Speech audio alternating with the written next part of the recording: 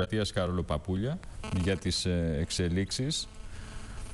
Θα δούμε αν θα υπάρξουν ε, και δηλώσεις ε, από τον Πρωθυπουργό εξερχόμενος και θα δούμε και ποιος θα είναι ο διάλογος των δύο ανδρών στο εσωτερικό του Προεδρικού σε λίγα λεπτά.